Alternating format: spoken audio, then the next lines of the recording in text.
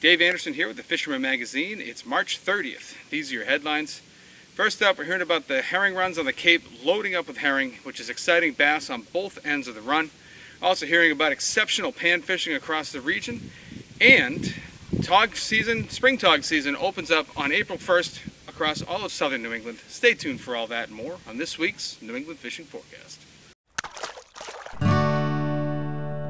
The fishing news is sponsored by these fine partners.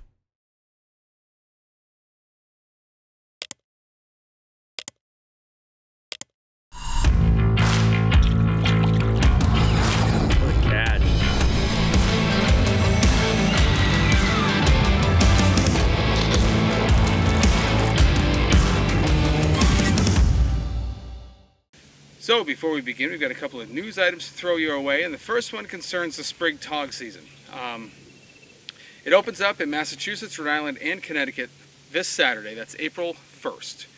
And there are some subtle differences between the regulations, so it's smart to kind of definitely want to check those out. I'm going to run through them all for you here just so I can keep you well informed. I feel like that's part of my job. Uh, so the good thing is Massachusetts and Rhode Island are almost aligned. So Massachusetts and Rhode Island both have a minimum size of 16 inches, as do all states. Uh, they also have a uh, bag limit of three fish, and they have the same trophy slot. So you, you can keep three fish, 16 inches or greater, but only one of them can be 21 inches or greater. The only difference between Mass and Rhode Island is that in Rhode Island there's also a 10 fish per vessel uh, limit. So that's something that you definitely want to keep in mind, especially if you're fishing in one of those places where you might fish Mass and Rhode Island waters. Um, you're going to want to keep that in mind, especially if you're coming back to uh, a Rhode Island uh, boat ramp. Then, when we cross over into Connecticut, things change quite a bit. Um, first and foremost, the duration of the season uh, is much shorter. So in Mass and Rhode Island, the season goes all the way to the end of May. That's May 31st. But in Connecticut, it ends on April 30th. It's also a two fish limit in Connecticut with a 16 inch minimum, and there's no trophy slots. So you can keep whatever size fish you like. Uh, one little tidbit of good news in that realm is that New York's uh, Long Island Sound regulations are the same as Connecticut. So you can sort of fish freely within Long Island Sound and not have to worry about where you are because no matter where you are, you're going to be following the regulations. Uh, one other place you might have to look out is if you like launch out of Westerly and go over toward like the Thames River, maybe fish Sarah's Ledge or something like that. Um, you're going to have to fish on Connecticut regulations. So just keep that in mind. And um, as long as you do that, you'll be abiding by the laws and uh, you'll be getting in on some early tog fishing. The other thing, of course, is the giveaway, which is ongoing. We've got a few more um, entries this week. Still kind of a trickle. Haven't seen a lot of uh, photos recently, but um, there's still a long way to go. We're going to wrap this one up on May 17th. Going to give away a mini darter. I finally finalized the design, and um, I think that's going to be a cool uh, thing to give away to somebody. We're also going to do some Yo-Zuri products for the second place uh, prize winner. So if you guys aren't familiar with how this whole thing works, as I'm sure you are by now, I'm just going to run through it real quickly. Um, basically, it needs to be a recently caught fish, and it's got to show you holding the fish. It can't be laying on the ground next to your rod or your boot or something like that. And you got to send it to me at danderson at thefisherman.com or text it to the number on the screen. And basically, this is a composition contest, so you want to take cool photos, maybe a release shot, um, maybe you know something with a beautiful sunset in the background or something like that. Um, because basically you're just trying to impress me. It's, it's my favorite photos that I get uh, through each contest period.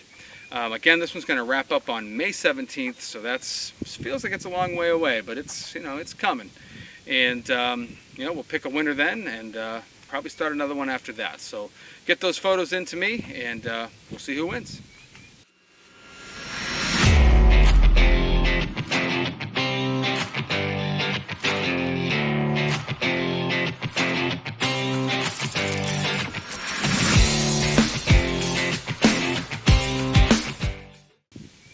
Heading up into Massachusetts now, we typically would start off with James Jukes, but he's under the weather, said his throat's hurting him so bad he couldn't even think about speaking on camera.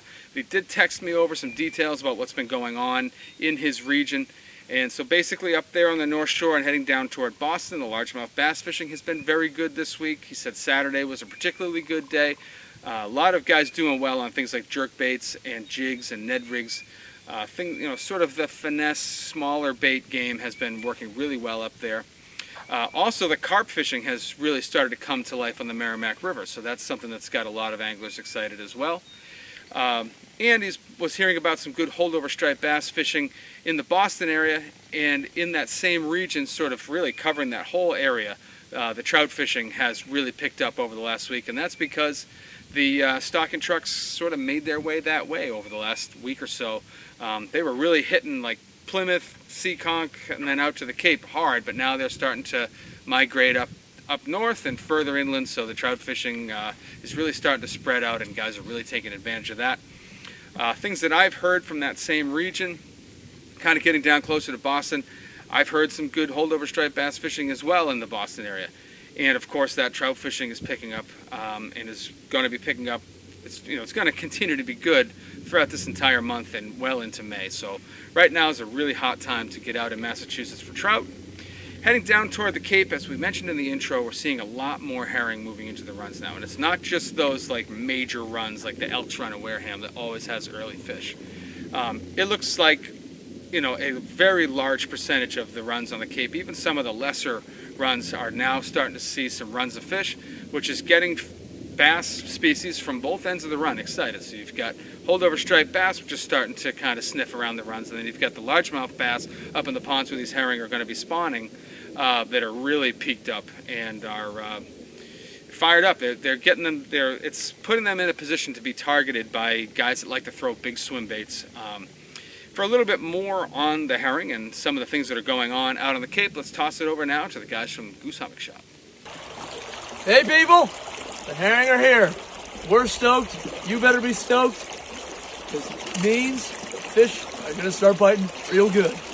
Buy some big jerk baits and swim baits, go into the local ponds that all have these herring runs, have a good time.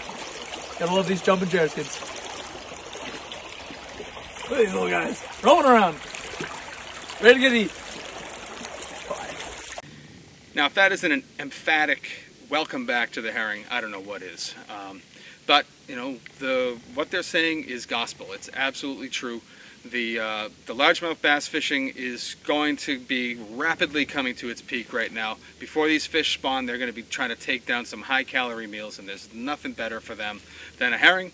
Um, and if you get one of these ponds, like we were saying last week, that's also stocked with trout, man, that's like that's like the perfect storm, especially for a big bait guy. Uh, and we've seen some big fish come out of uh, Massachusetts waters over the last week or so. Even though on the whole the largemouth bass fishing has taken a little bit of a step back just because we've got we've had some colder weather, some rain, and uh, some colder nights, which has slowed them down a little bit. But we got a nice fish uh, pick from Mike Dixon again, and uh, got a fish that was just over six from my buddy Mike Lucini here, and there were a few other nice fish taken in mass as well. So the uh, the largemouth bass fishing, particularly in the Cape region, is just lit right now, and uh, it's definitely something that should not be ignored by anyone who enjoys that kind of fishing. To wrap things up in Massachusetts, we're going to head inland now and get a little rundown of what's going on out in the western part of the state from Roy Leyve. Hey Dave, Roy Leyve here with this week's Western Mass Report. Um, fishing's been good. Uh, you know, weather's been nice. Uh, we've gotten a lot of rain, so as you can see behind me, everything's kind of flooded right now. I'm fishing some flooded timber. Uh, there's yellow perch everywhere here spawning. I mean, they're just in massive schools, uh, working around the shallows and dropping their eggs and such. Uh, it started a few days ago.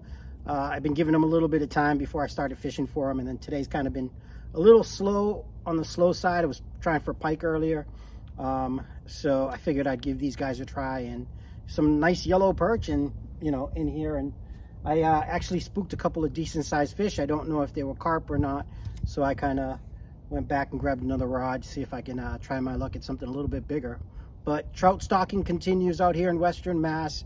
Uh, believe it or not, I don't even know if there's still people on the ice, but until a few days ago, there was out in the Berkshires uh, and some of the hill towns still have plenty of snow and ice, but you know, trucks are rolling.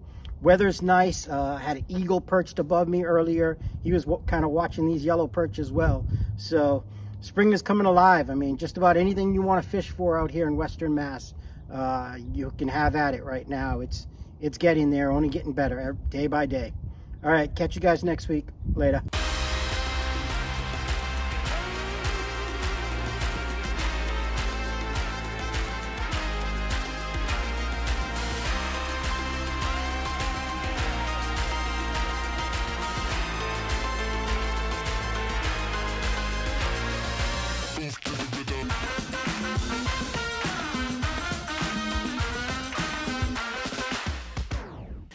Moving over into Rhode Island, um, we are about nine days away from opening day. So the state has been stocking like crazy, all 75 or so lakes and ponds and rivers that they stock.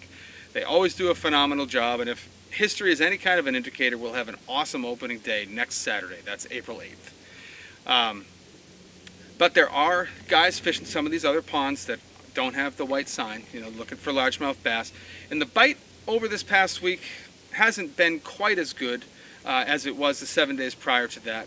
Uh, but for a little bit more on that and a few other fisheries that are going on in the eastern side of Rhode Island, let's toss it over now to TJ Kopecky. Thanks, Dave. Hey guys, nice to be back again. Uh, got a quick report for you from the East Bay area, southeastern Mass. Um, the bass bite around here has kind of slowed down. Um, and I've talked to a couple of uh, angler friends of mine who've been really much pounding the waters around here, uh, looking for some bass. Uh, I'm not sure if it's because uh, we had a couple of cold fronts, got warm. It's uh, back and forth weather. Um, but the bass bite and some of the local ponds around here where I live um, slowed down just a little bit. Uh, I'm not saying there's no bass to catch, but uh, it was just a little slower for what they were using as their presentation. Uh, they were just slow rolling uh, worms, uh, jigs, uh, Ned rigs, still a little bit slow. Um, so hopefully things pick up again next upcoming weeks. Um, trout in Swansea, it's been actually pretty good um, despite the weather. Um, guys using spinners, trout bait, uh, trout magnets, all working uh, in the Lewinbrook Pond. That's behind the junior high school in Swansea. Um, it's a stock pond. Um, they've been doing really well there. Uh, so if you're in this area and you're watching a video, uh, that's a good place to go. There's a lot of spots. Actually, when I showed up, there was a lot of people there and uh, my spots that I usually fish were consumed. Uh, so it just goes to show you that the bite's been pretty good. Um, uh, Rhode Island, uh, right here in East Bay. Warren Bristol Barrington, a couple Tiverton, a couple of stock ponds. Uh, Rhode Island's gearing up for its trout opener. And uh, well, I talked to uh, Manny over at Lucky Bait, and uh, he's got everything uh, that you would probably need for trout fishing, including he helps you with your licenses if you need a license. Uh, anywhere from trout bait, spinners, um, if you need uh, some new line on your rod, um, or your reel. They can take care of that for you. Um, they just have everything in stock for opening day. Uh, and right now they're open uh, Monday through Saturday, 9 to 5, and Sunday, 9 to 3. Uh, the hours might change on the week of uh, opening day, so you might just check their website, and they might update that for you. Um, I guess the, the biggest thing in our area, and I know you, you probably saw it in last week's report, was uh, Jeff Sullivan, who's a good friend of mine, and uh, we fished together. We've been on this perch bite uh, in the East Bay ponds that has been like by far the best I've seen in a long time. And we have a friendly little competition going on uh, to see like how many different lures or jigs or worms, soft plastics that we can throw out there to get them to bite.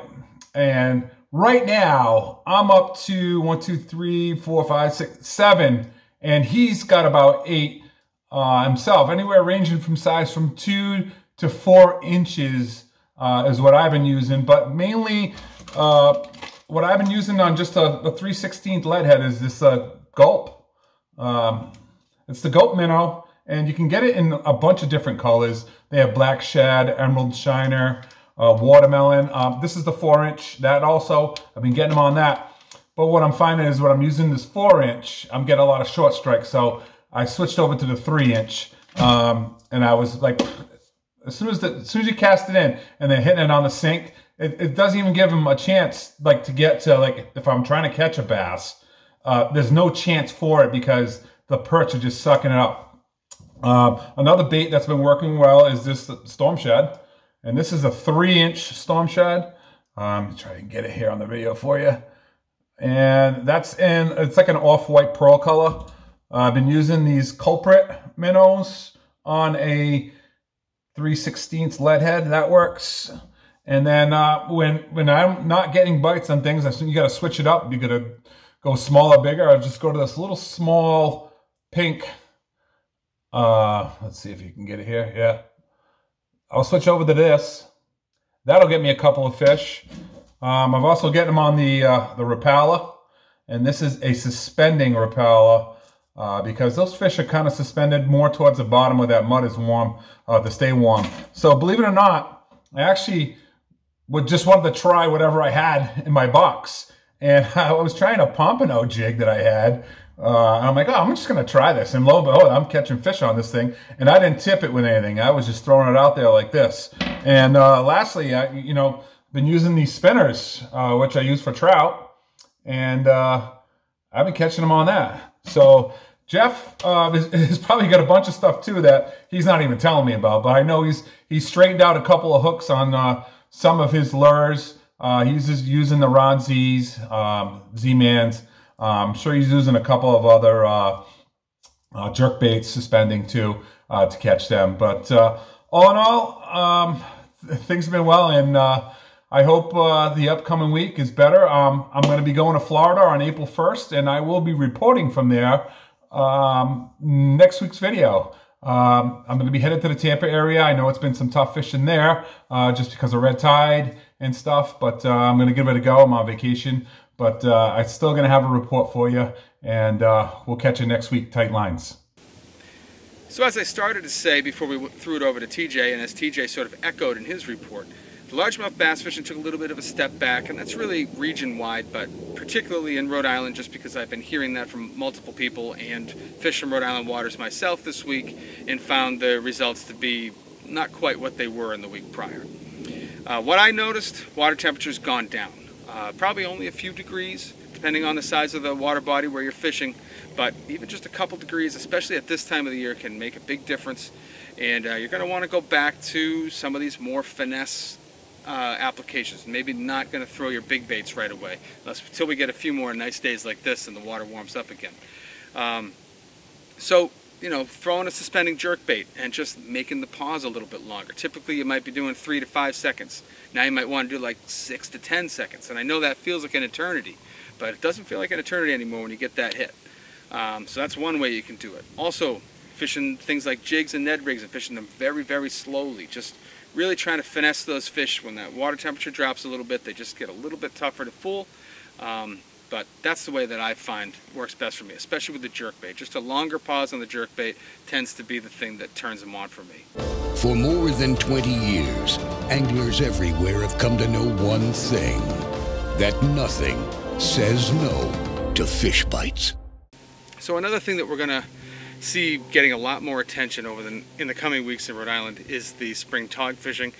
And historically, if you ask me, uh, Rhode Island has the best spring tog fishing that we see in New England. Um, so there could be any number of reasons for this, but if I had to guess, I would say it's because there is just so much deep water that's within close proximity to 10 feet of water. So you mean, it, you know, from like Narragansett to Jamestown over to Newport, you know, any number of spots where like 80, 100, 100 plus feet of water are within a half mile of 10 feet of water. So, you know, you could just, it could just be as simple as the migration from deep water to shallow water just being a lot shorter. And so we see a lot more fish moving inshore more quickly in that region than we do other places. Again, that's just a guess. But, um, and that also isn't to say that I think it's going to fire up right on Saturday. I don't. Um, I think it's going to take a week or two before things really start to come together. But historically, Rhode Island's the best place to go if you want to catch a spring tog. And, uh, and if I really had to focus it down, I'd say right in that region I said, from Narragansett to Jamestown over to Newport, uh, that's where I would go if I was trying to get it done. Um, and that's the story that I have for you guys in Rhode Island this week. Moving over into Connecticut, we also have the TOG opener, but history has also shown that Connecticut tends to be a late bloomer. Um, might be the fact that they that they're up in the Sound. Uh, hard to say why it is, but usually we don't see good tog fishing until the second to last, or even the last week, or even the last few days, some years, of the month of April. So instead of going out for tog right now, if it were me and I was dying to get on some, you know, saltwater fish, saltwater bottom fishing, I would go for winter flounder, believe it or not. Now I know winter flounder stocks are a shadow of what they once were, but we have some places in Connecticut that still produce good catches. Um, and I know it's only a two fish limit, but it's old school. It's cool to do something old school like that. Uh, so places like Bluff Point or some of the other areas outside of the mouth of the Thames River or over in Niantic Bay or way out west in like Branford Harbor or Norwalk Harbor or uh, Milford Harbor. All these places, you're going to look for mud flats, you're going to look for channel edges, and you're going to want to chum really heavily. Um, if there's one thing I learned from the late Jason Jadek over at Bobby J's Bait and Tackle in Milford, it's that if you want to catch, uh, well, really many species, but if you want to catch winter flounder, you got to chum. And um, so again, hit these channel edges, chum heavily. You can fish with clams or you can fish with uh, sandworms. I think most people would say that worms are a better choice and um, you know they're they're great table fare and uh, it's an old school throwback fishery that anyone can participate in so that's one option you have in Connecticut. Uh, most people right now are concentrating on trout because the state you know again this this uh, the state does a phenomenal job stocking first of all and they've been stocking like crazy again this week but also you know the fact that they brought on this um, or they instated as law this um, catch and release season instead of just making it sort of a COVID emergency season like it was for the 2020 and 2021. Um, it's really just opened things up. It's got a lot of anglers participating. It's created a lot of business for the tackle shops. So, you know, I want to kind of give the state of a short round of applause for that one because that was a really good move. And um, we've seen we've seen it showing up in so many different ways from kids getting out fishing, from people just making themselves get out and go fishing in March. It's just been phenomenal. Uh, one place that's been producing very well is the Farmington River, and for a little more on that, let's toss it over now to Derrick Kirkpatrick from Connecticut Fish Guides. Hey Dave, uh, I'm coming to you today from Upcountry Sport Fishing Fly Shop on the banks of the Farmington River for your uh, river report for this week. Um, currently, there still is a little bit of snow in higher elevations here, which is contributing to a bit of a negative temperature spike. We're also getting an influx of water from Massachusetts. So they've doubled the flow out of the West Branch. We went from uh, probably around 600 CFS to a few days ago, and now we're pushing up around uh, 12 to 1300 CFS. So um, high cold water. We actually moved towards the negative in water temperature. Uh, we were climbing up to around 45 degrees and then after the release and the snow melt, now we're around around 41 degrees. So it's going to be a little slow for a little while, um, but it should really kick into gear um, early April and, and heading into mid-April should be fire. So um, right now the Baetis are hatching. Those are a blue-wing olive and they're around a 16 to an 18. We still have some small uh, stones hatching. Those are anywhere from an 18 to a 16. Um, we have the early stones, which can range anywhere from a 14 and some even pushing 12. Um, your Hendrickson nymphs, you can catch migrational drifts on those on sunny days in the mornings. Uh, you'll start to see hydropsyche in the mix. Midges will be hatching. So we're getting a, a, bunch of entomology that's that's active. So it's really important to seine and, and observe what bugs are actively hatching versus what's in the drift. Um, and that's going to help you with with your fly uh, assortment and, and the flies that you choose. If you are heading into the fly shop in the morning, obviously pick their brain because they can give you up-to-date information. That's all I have this week. Dave, back to you. Heading out of that region into the Connecticut River, the coves have been producing really good pan fishing this week. We've been seeing good catches of calico bass, white perch, yellow perch, you name it. Um, the pan fishing has been awesome from Hamburg Cove to Chapman Pond to Wethersfield Cove to any number of the smaller coves and, and marinas that I have not mentioned. Uh, just really good pan fishing going on right now.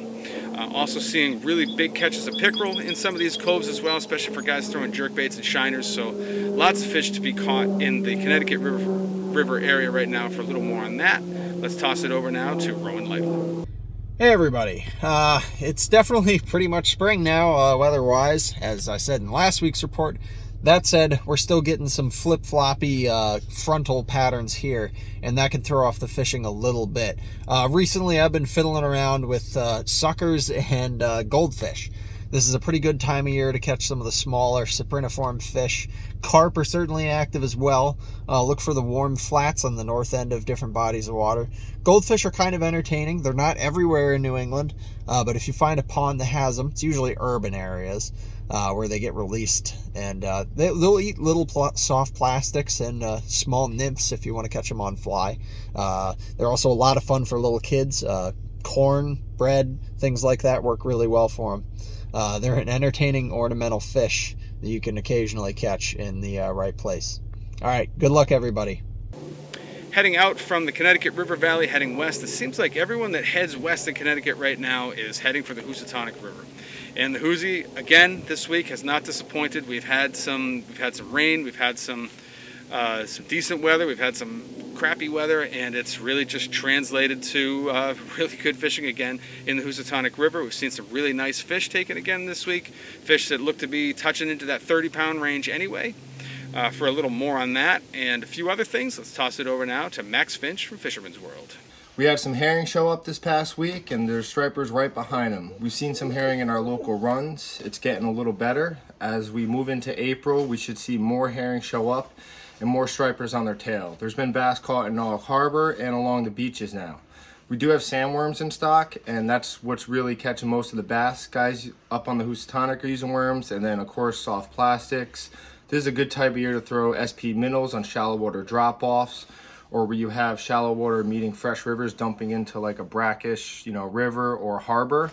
That's where you're gonna find most of your herring starting to run up to spawn. Uh, winter flounder opens up April 1st. I'm sure we'll, we have a couple anglers that, you know, love fishing for them this time of year. I'm sure we'll hear of a couple, usually along the Norwalk beaches, pretty shallow, and then in the harbor. Remember clam chum. A lot of people bring corn and clams. And then the freshwater side of things is really good. The state's doing a good job stocking you know, your usual rivers, Mill River, Norwalk River, the Saugatuck, and the Mianus and Greenwich, rooster tails, small phoebes, Kastmasters, trout worms, you name it. We got everything in stock. Thanks and good luck.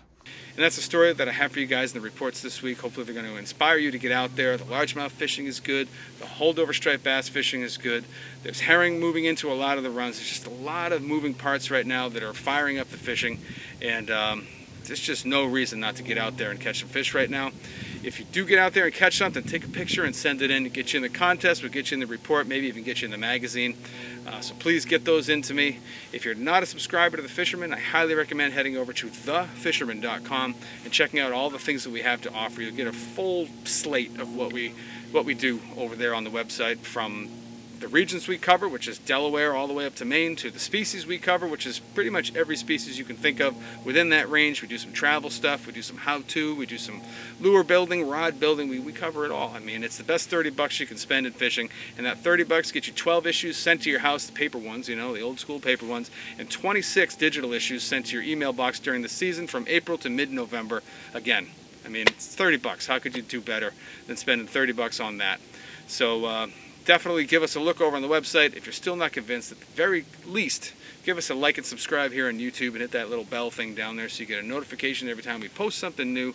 I appreciate you guys for watching, and we'll see you next week.